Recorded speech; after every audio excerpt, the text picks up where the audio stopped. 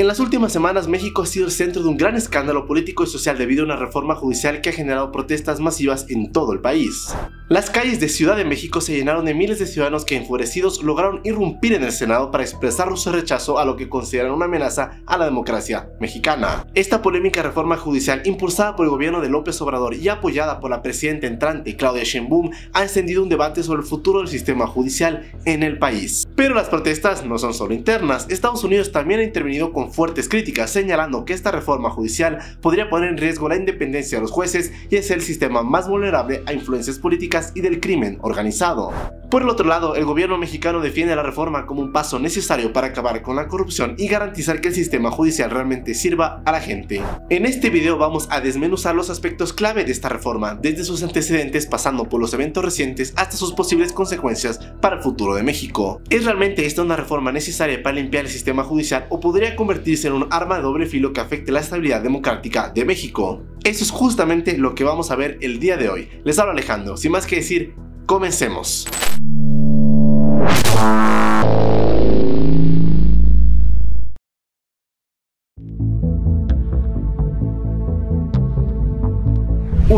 Antecedentes. La Constitución mexicana, promulgada en 1917, es una de las más antiguas y avanzadas de América Latina para su época, especialmente en lo que respecta a los derechos sociales. Establece un sistema de separación de poderes entre el Ejecutivo, Legislativo y Judicial, con la idea de mantener un equilibrio y garantizar la independencia de las instituciones. El Poder Judicial de México está encargado de aplicar las leyes de manera imparcial y su independencia es clave en toda democracia funcional. Pero es verdad que a lo largo de los años ha habido múltiples reformas a la Constitución mexicana, pero todas han mantenido este principio de la independencia. La última gran reforma constitucional fue en el año 2019 cuando se implementó la creación de la Guardia Nacional y se dieron modificaciones en los derechos humanos y laborales. A pesar de estas reformas, el equilibrio como tal entre poderes no se modificó sustancialmente en términos judiciales. En toda democracia, la independencia del Poder Judicial es crucial para evitar que los otros poderes del Estado interfieran en la administración de la justicia. Y es así que a lo largo de la historia moderna de México este equilibrio ha sido respetado aunque no sin desafíos, especialmente durante gobiernos con amplias mayorías legislativas. Ahora, justamente la reforma judicial de 2024, impulsada por Morena, el partido oficialista, pretende cambiar radicalmente la manera en cómo los jueces son seleccionados y supervisados, lo que justamente ha desatado la alarma entre muchos sectores. Pero, ¿cómo se llegó a esto?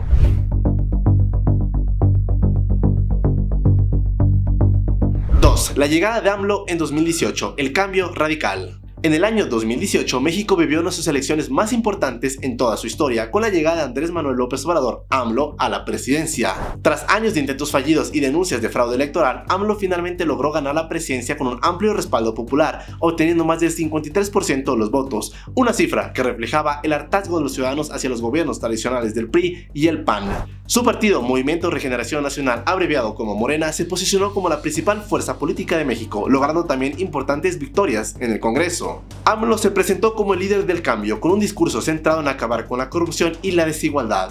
Y aunque su victoria fue contundente, su partido no logró la mayoría cualificada en ambas cámaras del Congreso, lo que limitó su capacidad para impulsar las reformas constitucionales que más pretendía. Una de las más importantes fue la reforma energética que buscaba revertir los cambios implementados en 2013 por el gobierno anterior, pero al no tener los votos suficientes, AMLO tuvo que conformarse con modificaciones más pequeñas y temporales.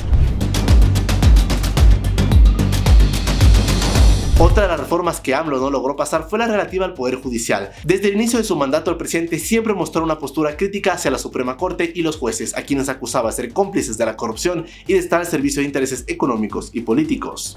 Pero con una falta de mayoría calificada en el Senado, le impidió realizar cambios profundos en la estructura judicial, limitándose a medidas como la Ley de Autoridad Republicana que recortó salarios y privilegios a altos funcionarios, incluyendo ciertos jueces. A lo largo de su mandato, las críticas hacia AMLO aumentaron, principalmente por lo que algunos analistas consideraban intentos por concentrar el poder.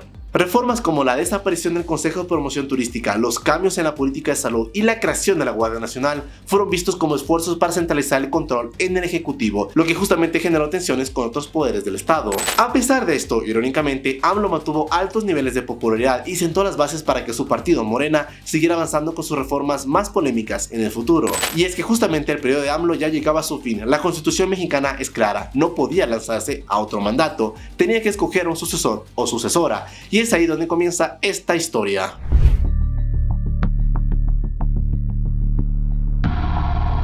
Número 3. La victoria de Claudia. Claudia Sheinbaum hizo historia en las elecciones de junio de 2024 al convertirse en la primera mujer en ser elegida presidenta de México. Su triunfo no solo fue abrumador en términos de votos para que ganara la presidencia, sino que también otorgó al partido Morena junto a sus aliados una supermayoría en ambas cámaras del Congreso. Con más de 36 millones de votos, Claudia superó incluso el récord de votos que había alcanzado Andrés Manuel López Obrador en 2018. Obtuvo casi el 60% de los votos, el doble de lo conseguido por su principal rival, Xochitl Galvez, candidata del PAN y del PRI. Este resultado no solo entregó a Morena seis años más en la presidencia de México, sino que también proporcionó el respaldo necesario para continuar con la famosa cuarta transformación que AMLO había iniciado. Con la supermayoría que habían obtenido en el Congreso, Claudia y su partido ahora sí estaban en la posición de llevar a cabo reformas constitucionales más radicales, algo que AMLO no siempre pudo hacer justamente debido a la falta de apoyo legislativo suficiente. Ahora tenían una mayoría cualificada y lo podían hacer, esperaron seis años para este momento y lo supieron aprovechar.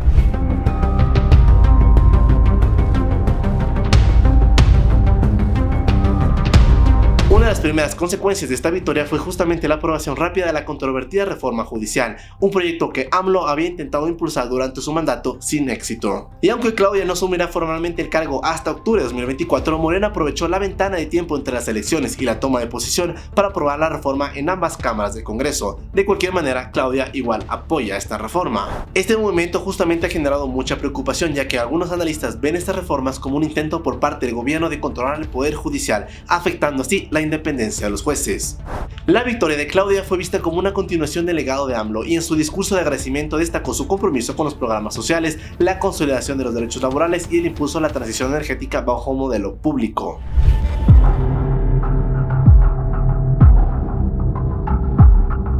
Pero su victoria no ha estado exenta de críticas. La oposición, liderada por Galvez, acusó a Morena de tener tendencias autoritarias y de intentar centralizar todo el poder en el Ejecutivo. Y aunque justamente la oposición mexicana reconoció su derrota, muchos justamente continúan señalando los riesgos que esta nueva supermayoría de Morena representa para el equilibrio de poderes en el país. Con una supermayoría tan sólida, ahora Claudio y su equipo tienen campo abierto, es decir, cheque en blanco para implementar sus políticas sin grandes obstáculos políticos internos.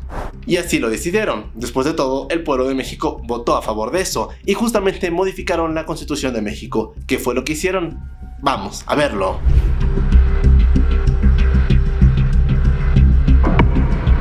Número 4. La polémica reforma judicial. La reforma judicial aprobada justamente por el Senado de México en septiembre de este año justamente ha desatado una ola de indignación y preocupación en todo el país. Para millones de mexicanos, esta reforma representa una amenaza directa a la independencia del Poder Judicial y por ende a la democracia misma. Pero, ¿de qué trata exactamente esta reforma y por qué es tan controversial? Uno de los cambios más radicales de la reforma es la elección popular de los jueces. Actualmente los jueces federales, incluyendo los ministros de la Suprema Corte, son designados por el presidente y ratificados por el Senado. Pero bajo esta nueva ley, más de 6.500 jueces y magistrados serán elegidos por el voto popular, algo sin precedentes en el sistema judicial mexicano.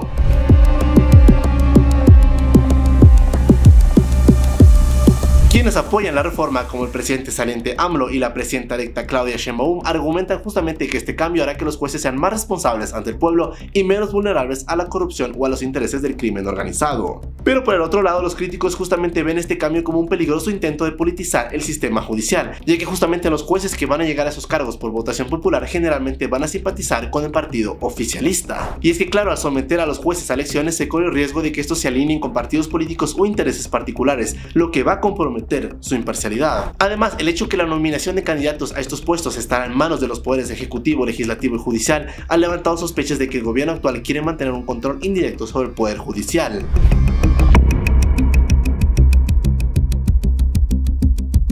Otro aspecto polémico de la reforma es la reducción del número de ministros de la Suprema Corte de 11 a 9 y la limitación de sus mandatos a 12 años. Y aunque esto se presenta justamente como una medida para hacer más eficiente la Corte, muchos ven esto como una estrategia para controlar las decisiones judiciales a largo plazo. Además, se va a eliminar la edad mínima de 35 años para ser juez, lo que permite que jueces con menos experiencia lleguen a ocupar puestos de gran responsabilidad. Literalmente ahora un chico de 25 años puede ser juez, si es que justamente logró los votos suficientes al alinearse a un partido político. El hecho de disminuir los salarios de los jueces a niveles que no superen el sueldo presidencial también ha generado cierta controversia, especialmente entre los trabajadores judiciales que consideran que esto podría justamente a profesionales calificados de ingresar al sistema. De hecho, los jueces y el personal judicial han realizado huelgas y protestas masivas en rechazo a la reforma, advirtiendo que la independencia del Poder Judicial está en juego. Pero, ¿y qué pasa ahora? En términos de procedimiento, la reforma ha sido aprobada en ambas cámaras del Congreso y ahora deberá ser ratificado por los congresos estatales antes de ser publicado en el diario oficial y entrar en vigor. Si bien la oposición mexicana ha prometido luchar contra la implementación de la reforma, la mayoría controlada por Morena a nivel estatal hace que sea muy probable que la reforma sea ratificada sin mayores obstáculos. Mientras tanto, el gobierno de Morena defiende la medida como necesaria para combatir la corrupción y fortalecer el sistema judicial, pero por el otro lado, millones de mexicanos junto con gobiernos extranjeros, como el de Estados Unidos, ven en ella peligro latente para la democracia mexicana. Pero, ¿realmente es así? ¿Hay reformas similares en otros países del mundo de la que podemos sacar algún ejemplo?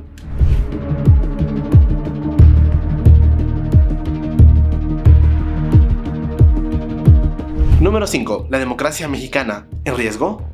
La aprobación de la reforma judicial en México ha generado una serie de comparaciones con otros sistemas judiciales alrededor del mundo, en especial con aquellos países llamados desarrollados. Y es que claro, una de las mayores preocupaciones es la politización del poder judicial. En México, el plan de elegir jueces por voto popular ha sido uno de los puntos más críticos. Pero hay que ser muy honestos, este modelo de elección directa de jueces es muy inusual en las democracias consolidadas, lo que justamente ha hecho que muchos se pregunten si la reforma realmente es un riesgo para el país. En países como Estados Unidos, aunque algunos jueces son elegidos a nivel local, los jueces federales y de la Suprema Corte son nominados por el presidente y ratificados por el Senado, es decir, como se solía hacer en México antes, antes de la entrada a vigor de esta ley. Este proceso, si bien es largo, busca justamente mantener un balance de poderes para evitar que la justicia se vea influenciada por intereses políticos directos. En contraste, la reforma mexicana propone que los jueces de todos los niveles sean elegidos directamente por el pueblo, lo que según los críticos podría abrir la puerta a que estos jueces se vean tentados a tomar decisiones populistas en lugar de justas, alineándose con corrientes políticas justamente oficialistas.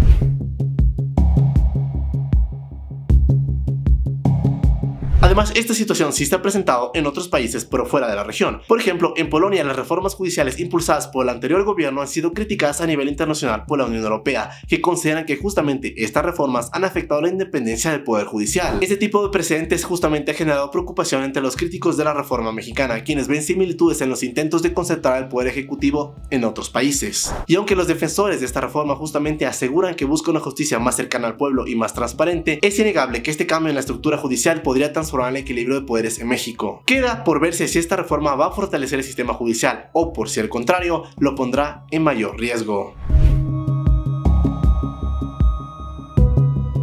Para ir concluyendo, podemos decir que la reforma judicial en México ha desencadenado un debate intenso que ha polarizado todo el país. Por un lado, el gobierno electo de Claudia y sus aliados de Morena sostienen que esta reforma es clave para combatir la corrupción en el Poder Judicial. Pero por el otro, los críticos advierten que someter a los jueces a elección popular va justamente a comprometer su independencia y permitir que el sistema de justicia se politice, lo que justamente sí representa un retroceso para la democracia mexicana. Comparando el sistema propuesto a la reforma judicial con el de otras democracias, es claro que México estaría tomando un camino muy poco convencional. La elección directa de jueces no es común en las democracias consolidadas, a lo que justamente aumenta la preocupación que esto pueda generar una justicia más influenciada por la política que por la ley. ¿Será esta una solución a los problemas del sistema judicial o llevar a México a una mayor concentración de poder y tal vez a un autoritarismo? Solo el tiempo lo dirá.